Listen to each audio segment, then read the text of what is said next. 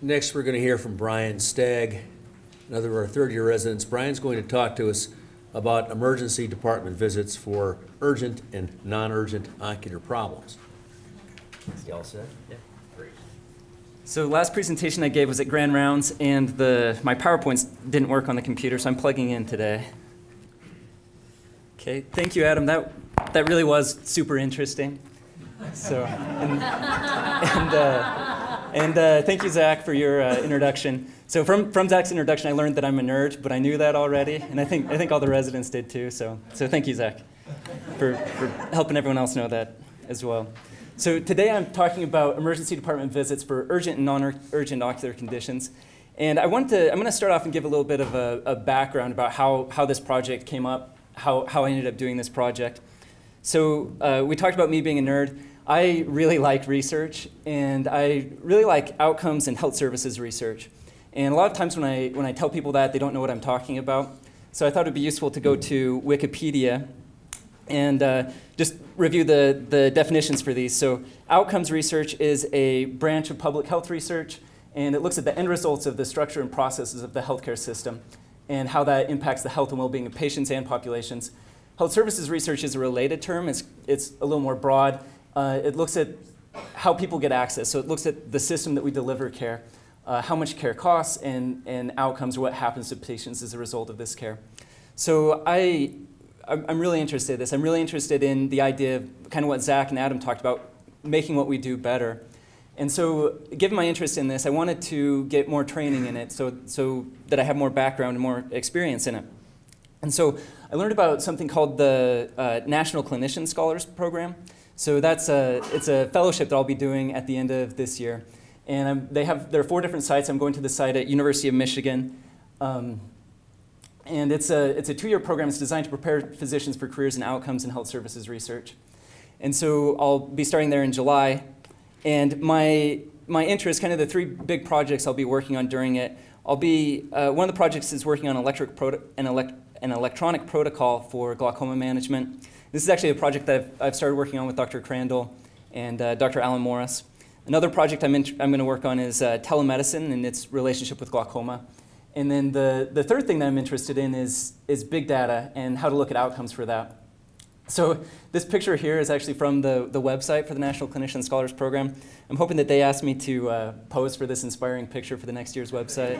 I've, I've been working on my, uh, just, just practicing my pose for that. So um, at Michigan, I'm going to have uh, the, the two main mentors I wor I'll work with. One is Paul Lee, he's their department chair, and he's really one of the world experts in health services research for ophthalmology. And I'm really excited and fortunate to be able to work with him. My other mentor that I'll work a lot with is named uh, Josh Stein, and he's a glaucoma specialist, and his, he's a health services researcher, but his real expertise is in big data. And my, i am looking for a third mentor. I've asked Jim Harbaugh to be my, Dr. Manos mentioned Jim Harbaugh. I've asked him to be my mentor working on Angry Faces, but uh, I, I, haven't heard back from him yet. So, so uh, big data, that's, that's another buzzword that we hear used a lot, especially over the last few years. It's something that's talked about a lot. And I thought it would be useful, again, to go to Wikipedia to really help us kind of understand. I think a lot of times we use that word and we don't really know what it means. So big data basically just means data sets that are so large or complex that the traditional means of processing data that we've used for hundreds of years, thousands of years, don't, don't work for these. Um, they're inadequate. And so I, I was really fortunate this last fall. I had uh, an elective month, and working with Dr. Pettey, uh, Chandler, Alicia, and uh, Elaine to really set, schedule a, an elective rotation for me. So, so what we did was I went to University of Michigan for my elective month and worked on a research project with Dr. Stein. And so uh, I mentioned he, he's a, a, big data expert, and he has a, a huge database of claims data that we wanted, I wanted to do a project with. And so I discussed with him kind of possibilities for a project. And I decided on, on this topic, so use of emergency departments for ocular conditions. And this is a topic that's near and dear to the hearts of all residents. Uh, I have a picture of our call box here. Julie was using this last night, uh, spending a lot of the night at the ER. And so I, I talked with Dr. Stein. This is, this is what we decided on for my project. So a little bit of background information is that the overall use of emergency departments has really gone up. So 108 million visits in 2000 to about 130 million visits in 2010. And a recent systematic review published in 2012, they, they reviewed the literature and found that probably about 40% of all ED visits are for non-urgent medical conditions. So conditions that could be better handled um, in, in a different setting, not, not the emergency department. And another study showed that on average, uh, visits to, to the ED cost about four times more than comparable visits to an office. And uh, another study, this, this was an interesting one, showed that non-urgent visits actually do make outcomes worse for patients that are there for emergencies. They use up resources, use the time of providers. And I think another problem with non-urgent visits to the emergency department is they're actually less, less convenient for the patient. And sometimes they get poorer care than they would have gotten um, in other situations. And so with this background, this, this information about ED visits increasing and non-urgent uses, uh, talking with Dr. Stein, we wanted to really look at what, what does this mean for eye conditions? So what are the trends for, for visits to the ED for eye conditions? Are the visits urgent or non-urgent? And uh, what factors are associated with increased utilization of the ED? And are there any things that are protective that prevent it from happening? And our real hope with this was to not just learn some kind of gee whiz information, but really find things that something that could be done to make it better. So our methods, we decided to use the, the database that Dr. Stein has. It's the Clinformatics Datamart, Datamart database. So it has records of all beneficiaries enrolled in a, in a nationwide US managed care network. And so it's, uh, we have data from 2001 to 2014, and it's, uh, so, so it's around 15 million patients total in it. And so that, so that does qualify as big data. And for it, you have ICD-9s, CPTs, age, uh, socioeconomic information, geographic information. You have some lab information, pharmacy information. There's, it really is big data. There's, there's so much information there. Uh, in fact, uh, some of the regressions I'll talk about later, they take, so they, we have a programmer who runs them for us, and they use a supercomputer, and it takes the computer 36 hours to run the regression, which, which is pretty amazing to me to think about. So uh, out, of this, out of this database, the way we selected our patients, we chose all patients that were older than 21 years old, older than 21 years, and had at least one year of continuous enrollment in the, in the uh, network. And, that, and that, that's something to remember that all of these patients have insurance because the information comes from the, the, claims the insurance claims database. So no uninsured patients were included. Um, and if, if they didn't have continuous enrollment, we excluded them because we didn't know what was happening in the times that they were, were outside of the network. And then, so we looked at patients that visited the emergency department, and we looked at the ICD-9 codes. So we found all of the, all of the eye-related codes. And then we wanted to look at urgent versus non-urgent. So we used the ICD-9 codes and we categorized some of them as what would be uh, definitely urgent. So things like purulent endophthalmitis, hypopyon, giant cell arteritis, papilledema. These, these were things that we said, those are pretty clearly urgent. Uh, and then we also looked at what would be really clearly non-urgent. And so we chose things like conjunctivitis, pterygium, pinguecula as, as the primary diagnosis for an emergency department visit. And any other eye diagnosis we, we put in a separate category that we called other because it, it, it wouldn't be clear. And also, this kind of highlights one of the issues with working with big data is that you don't, we don't have actual clinical data. We don't have the clinical notes. What we have is what they build for. And so eh, it, it's probably not perfectly accurate, but we, we felt like we were conservative with our classifications of urgent and non-urgent to be, to say things probably fell in these categories. We do some regression models, and I'll talk more about these later.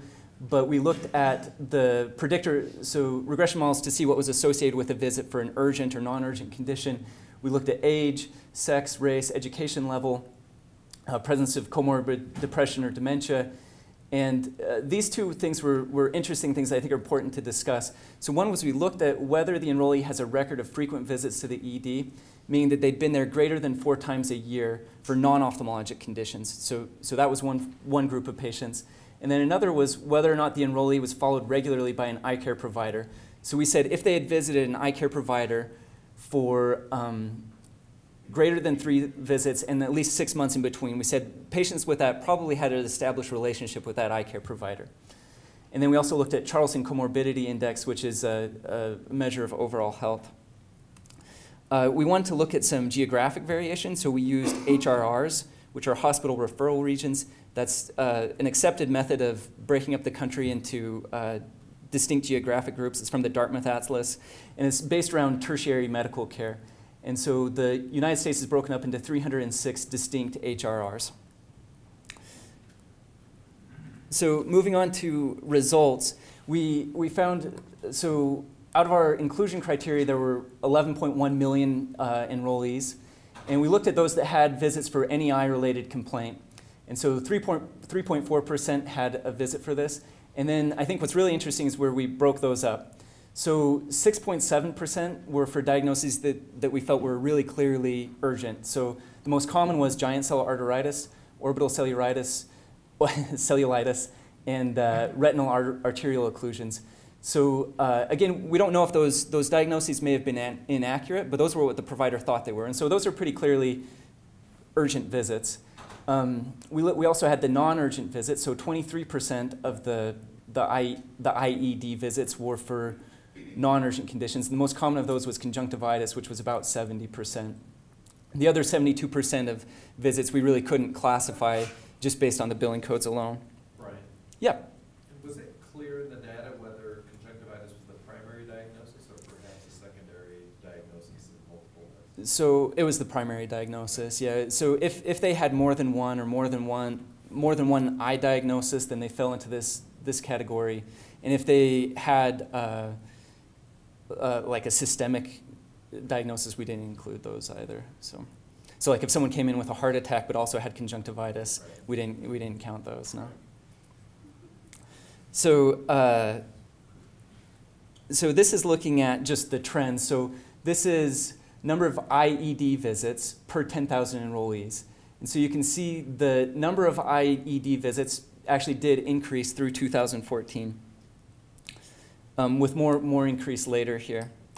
And then this is looking at the proportion of visits for each year. So the, the black up here is the percentage of those visits that were urgent, so fairly stable. The, this big group in the middle is the other visits that we couldn't classify, and then the non-urgent visits actually trended down slightly um, over the time period. Uh, not, uh, yeah, so not, not sure exactly what to make from that, but, but a slight downward trend. Uh, this was an interesting one. I bet any resident in the, in the audience could have uh, could have told you this as well. So this is looking at the daily variation of the visits. So Sunday and Saturday, by a long shot, were, there were more visits. Uh, something that I thought was actually really interesting is the number of urgent visits was fairly stable over, over the time period, but the non-urgent visits were what really went up on, Friday, on Sundays and on Saturdays on the weekends. So I think Eileen experienced this last weekend and could have told us the, that that was true. So this, this is the regression model that I was, I was talking about earlier. So this is looking at uh, factors associated with increased risk of going for an urgent condition. So uh, interestingly, as your age increased, you were less likely.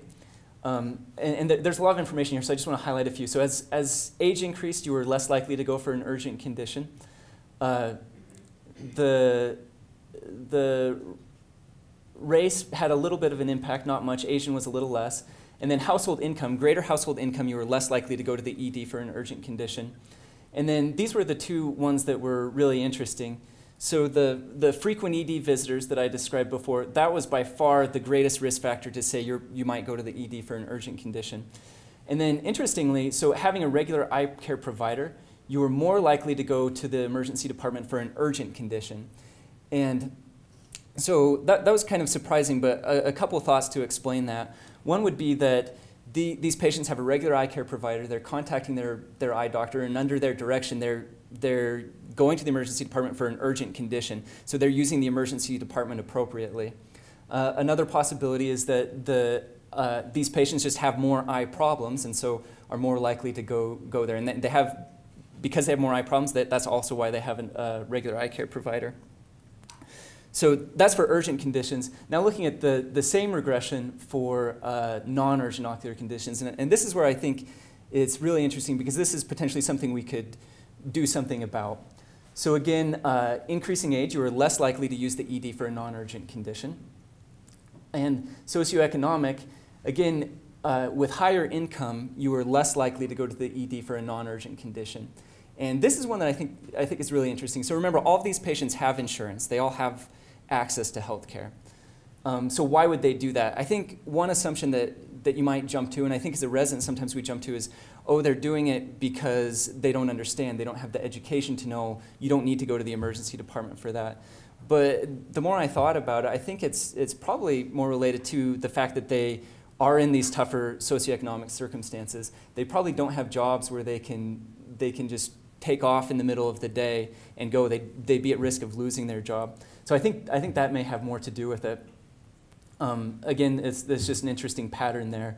And then down here, this I think was the most interesting results we had. So again, the most the strongest risk factor for going to, for a non-urgent condition was if you were someone who had habitually used the, e, the ED in the past for other conditions. And then the regular eye pro provider, remember, for the urgent conditions, you were more likely to be going to the ED. For non-urgent conditions, you were less likely to, going, to be going to the ED, implying that having a regular eye care provider gives you access to be able to go for a non-urgent condition for, uh, out, to have that taken care of outside of the ED. So we also looked at geographic variability. So this is uh, urgent conditions, and these are those HRRs that we talked about. They're age and race adjusted, and they're per 10,000 person years. So it's not just based on population. And so I think the key here is that there's a lot of variability. Some places have are using a lot, that go into the ED a lot, and then some places a lot less. And also that they're kind of clumped geographically, suggesting that there's maybe something about these areas that, that would be that way. This graph is called a turnip plot. And so each of these dots represents an HRR, and this is to really look at the variability. So this is the, the number of visits. So this is, there's some HRRs here without very many urgent, and then some with more. But overall, it's a pretty tight distribution for the, the urgent ocular conditions. So HRR, that's a, uh, so a, uh, I'm blanking on the term, health, health, a hospital referral region. So that is it's determined by the, yeah, yeah. It's, so it's determined by a tertiary care center uh, from the Dartmouth Atlas. Is that's kind of the publication that that uh, that's that's in.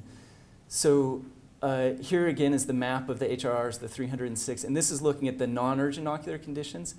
So again, there's really big variability, and there's some areas, especially here, uh, Michigan, Northern Ohio, uh, western Pennsylvania where there's a lot, a lot of use. Um, and then this is that turnip plot again, and, and this I think really shows the variation. So some down here, the lowest um, was in Medford, Oregon, and I think that was around uh, two or three. And then the highest was in Elyria, Ohio, which was up around 50. I looked up Elyria, Ohio. There's on Wikipedia. There's nothing real that seems real special about it. It's a, a small city in Ohio, uh, close to the Great Lakes. So I'm not, I'm not sure exactly what, what would do that, but it fits with the geographic area. There's something, there's something culturally or, or otherwise in that area that people are going to the ED more. Yeah, Dr. Roscoe. Can you also look and see, based on these different regions, the population of ophthalmologists? Dr. Roscoe, Sorry. you're, you're awesome.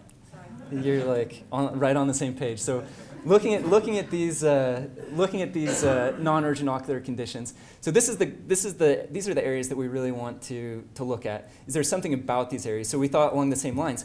Maybe uh, does the number of ophthalmologists correlate with that? So my hypothesis was that with more ophthalmologists out here, number of ophthalmologists per 10,000 residents, you'd have fewer ED visits because there's easier access.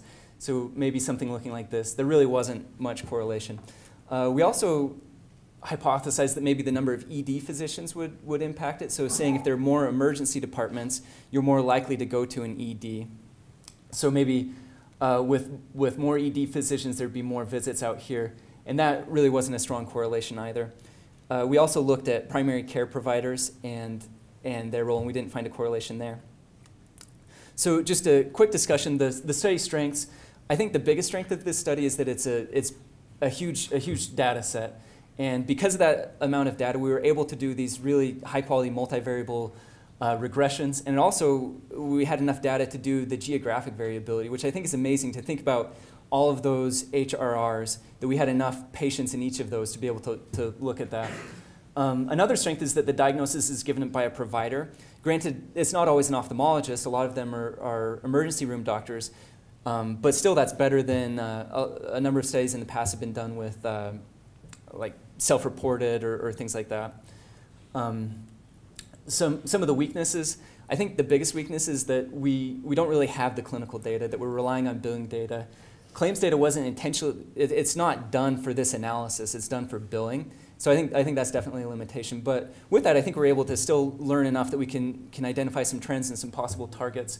Um, also, there's possibility of coding or billing error or misdiagnoses. So in summary, 23% uh, of ED visits are likely non-urgent. So there's a significant per per percentage that are likely non-urgent. There's a lot of geographic variability. The ED use for uh, eye conditions is associated with its lower socioeconomic status. The greatest risk factor is if you're a frequent ED visitor. That, that was by far the, the biggest thing associated with it.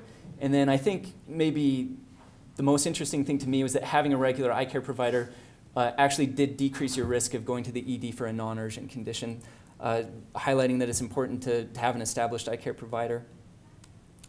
Why this matters, it provides some important information. It identifies a problem for the, the eye conditions, and then also suggests a few possible solutions. One being education, focusing on those frequent ED visitors, possibility of doing incentives or disincentives for using the ED, and then also uh, the idea that it is important to have a regular eye care provider. And so, uh, just in conclusion, I want to say thank you to my mentors, Josh Stein, Paul Lee. Uh, Maria Woodward is another uh, mentor that I'll be working with there. And then uh, a big thanks to uh, Dr. Pettey, Alicia, Elaine, Chandler that helped make it possible for me to do my away rotation during my elective month last fall. And it was a, a really great experience and got some things started for me. So thank you.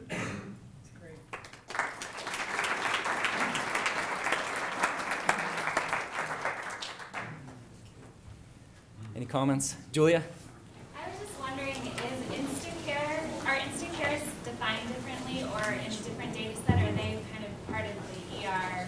So those aren't included in ERs, no. This is, this, this is emergency departments at a hospital. The, and, and we have that information in the, in the billing. You can, you can see what type of, how, how they're billed, so. Just two curiosity questions. Yeah. It seemed like female sex was negatively correlated with seeking ED care. Is that true? Yeah, yeah, it was. I, the, there were, and there were, there were even a few other things that I did there. I just highlighted a few, and, and I, I'm not, sh- I'm not sure how to explain that. So, do you have, do you have thoughts? I bet you have Oh, thoughts. yeah, sure. Yeah. A lot of men have, get insurance, but they often don't want to go to their doctor, so Right. why not go to an ER when they do have time to go to Right. an ER? Right. Um, and then, uh, what about optometrists? Did you look at optometrists and see if optometry was correlated with higher ED visits, if that was their eye care provider, or was it ophthalmologists that you looked at? Yeah, so we did both. So that, that was combined. That would be interesting to see, to, to split those two up. So that's a good thought. But it was both. It was, it was either eye care provider. So. Dr. Roscoe? Really cool work, right? Um, You know what would be really neat too is to look at, I'm sure you thought about this as well, but what would be the savings in terms of healthcare dollars? Right. the care was? Right. That would be actually Yeah. a, a big interest nationwide. Right, yeah. I, I think for the, we're we're putting together the manuscript now, and I think we're hoping to do that. That's, it's kind of a tough question to, to really answer, but yeah. Uh, Dr. Dr. Warner's handling it first. Sorry. Dr. I'm good. Um, Do you have any way of knowing, and I might have blinked and missed this, but did you have any way of knowing whether these people who went to emergency rooms were actually seen by people with any eye training? Um, So So- is that, is that Yeah. necessary? I mean, obviously, it would be very difficult to know whether the care was appropriate or the diagnosis was correct, Mhm. and that would be a lot, much more detailed, obviously, but Right. How many places actually have ophthalmology-trained people available in their emergency room? Yeah, so uh, this, this did not distinguish that. So some of the diagnoses may have been provided by an ophthalmologist who came in on call, some maybe not. And I'm not sure if from the data set we could, we could parse that out to say who was actually seen by an ophthalmologist. Um, I- Could you find out Yeah. how many places actually have ophthalmologists available? Not, not from the data set, there may be another way to do that. And that would be, an, I mean, that, that's an interesting question.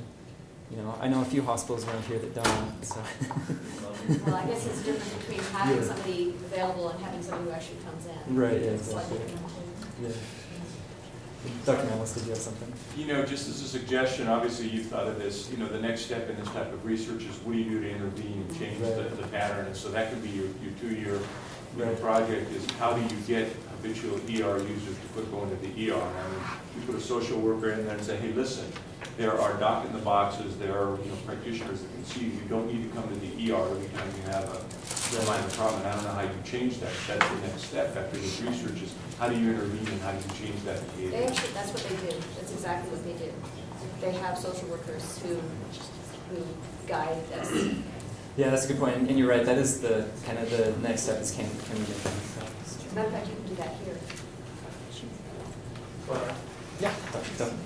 Sometimes it's worth looking at other health systems. In the UK, as you know, we have three treatment at the point of contact, whether it's an emergency or uh, current practice doctor, or a specialty. There is no change of uh, money. And so, for about six months in the north of England, they did a study and found out the answer to the very question you were raising. They introduced a twenty pounds, which is not about thirty-two dollars. Uh, you have to pay that to go to any emergency room, whether you're in a serious condition or not. And it cut down what we call the coughs and colds, you know.